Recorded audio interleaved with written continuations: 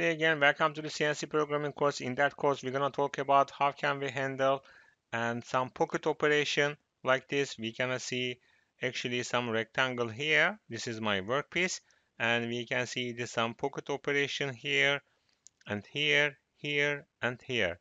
So how can we create our and helical and pocket operation for that part? Okay, when we turn to and one pocket operation, I created some main program here. This is my metric unit, this is my cancellation, and this is my reference point, and then this is my tool change, and this is my first pocket and the center, that point. I am on the, that point right now. And then actually we can see the some spindle speed.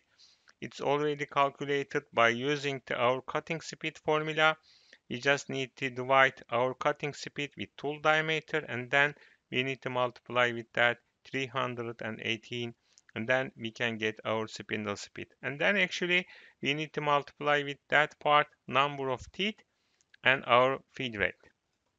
Okay?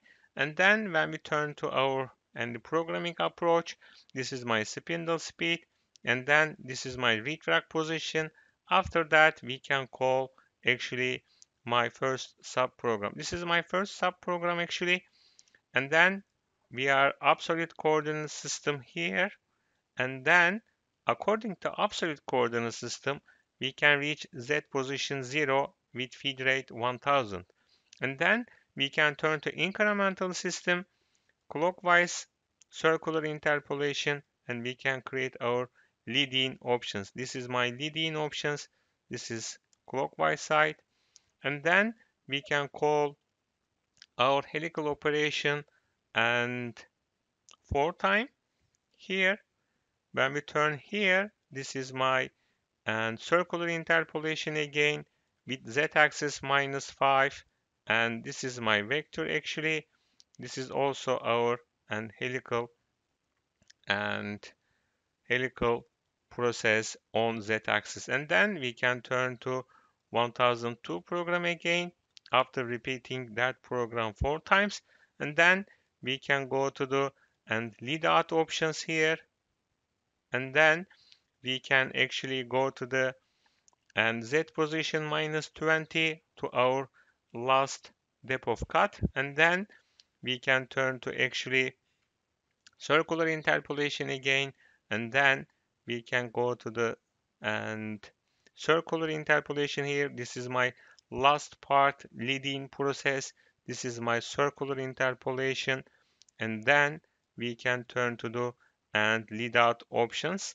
And then actually we can go to the retract position again and turn to the main program. After that, I am here right now.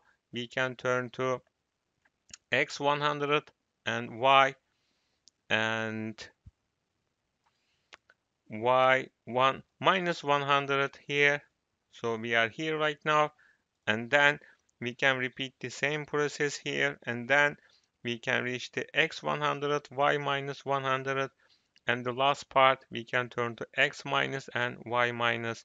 And then we can call our subprogram 1002 and 1003 in the 1002 and then we can go to the reference point and stop our spindle and turn to the actually program stop options. Okay, let's turn to the Swansoft and see what we did here. Actually, I created and three program here. This is the 3001 and then I can call 3002 here. This is my first and sub program. and then I can call 3003. This is my last actually and subprogram. Okay, let's turn to the main program here and then we can turn to the and memory options and then we can push this and cycle start button. And then we're gonna see that this is my actually first step.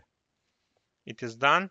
I can run for the second step, step down process. This is the third one actually, and then we can turn to fourth one this is the final step actually and then we can go to the and the last step to make and our and the pocket operation.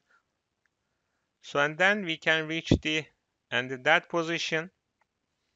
As you can see that X, Y, and Z axis gonna move in and the same line here.